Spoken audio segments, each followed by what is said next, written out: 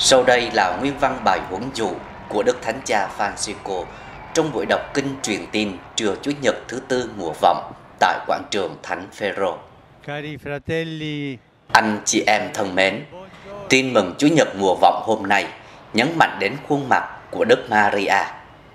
Chúng ta trông thấy mẹ đương đầu với cuộc hành trình từ Nazareth, vùng Galilea, đến vùng Sơn Cước, miền Judea để đi thăm và trợ giúp bà Elizabeth.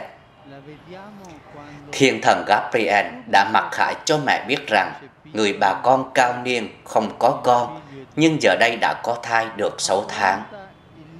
Chính vì thế, Đức Mẹ mang trong mình một món quà và một màu nhiệm còn cao cả hơn, đi tìm bà Elizabeth và ở lại với bà 3 tháng.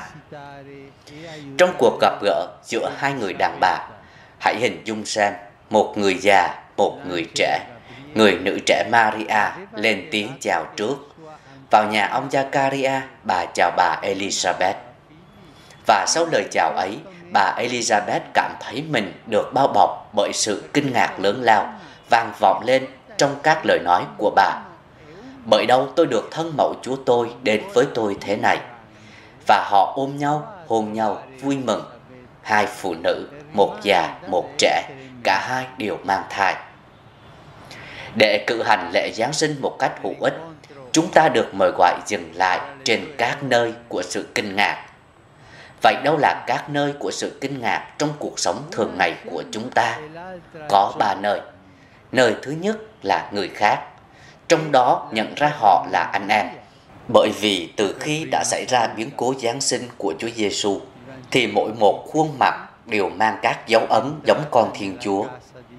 Trên tất cả, đó là gương mặt của người nghèo, bởi vì Thiên Chúa đã bước vào trần gian như người nghèo, và trước hết, Ngài để cho người nghèo đến gần Ngài. Một nơi khác nữa của sự kinh ngạc, nơi thứ hai, chúng ta nhìn với đức tin. Chúng ta cảm nhận được chính sự kinh ngạc là lịch sử.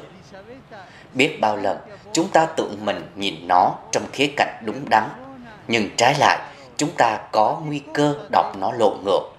Chẳng hạn điều này xảy ra khi đối với chúng ta xem ra nó được xác định bởi kinh tế thị trường, được quy định bởi tài chánh, các vụ làm ăn và bị thống trị bởi các người quyền lực thay nhau chỉ huy. Thiên Chúa của lễ Giáng sinh trái lại là một vị Thiên Chúa trộn lẫn lộn các lá bài.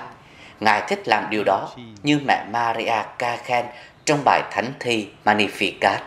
Chính Chúa lật nhào các người quyền thế khỏi ngai cao và nâng kẻ hèn mọn lên, ban tràn đầy của cải cho kẻ khó nghèo và đuổi người giàu có trở về tay không. Đó là sự kinh ngạc thứ hai, sự kinh ngạc của lịch sử. Một nơi thứ ba của sự kinh ngạc đó là giáo hội.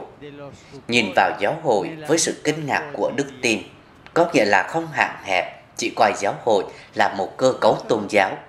Nó là một cơ cấu tôn giáo, nhưng cảm nhận giáo hội như là một bà mẹ, dù có các vết nhơ và vết nhăn. Chúng ta có biết bao nhiêu nếp nhăn, cũng vẫn thể hiện những đường nét của hiền thê được Chúa Kitô yêu thương và thanh tẩy.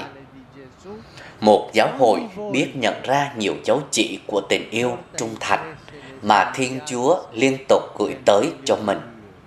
Một giáo hội mà Chúa Giêsu sẽ không bao giờ làm một chiếm hữu để bảo vệ một cách ghen tương. Ai làm như thế là sai lầm. Chúa Giêsu luôn luôn là đứng đến gặp gỡ nó và giáo hội biết chờ đợi với lòng tin tưởng và tươi vui bằng cách trao ban tiếng nói cho niềm hy vọng của thế giới. Giáo hội kêu cầu Chúa, lạy Chúa Giêsu xin hãy đến. Giáo hội là mẹ, luôn luôn có các cánh cửa mở rộng để tiếp đón tất cả mọi người. Còn hơn thế nữa, giáo hội mẹ ra khỏi cánh cửa của mình để tìm kiếm với nụ cười của bà mẹ tất cả những người ở xa và đem họ đến với lòng thương xót của Thiên Chúa. Đó là sự kinh ngạc của lễ Giáng sinh. Trong thánh lễ Giáng sinh, Thiên Chúa ban cho chúng ta tất cả chính người bằng cách ban cho chúng ta con duy nhất của người là tất cả niềm vui của người.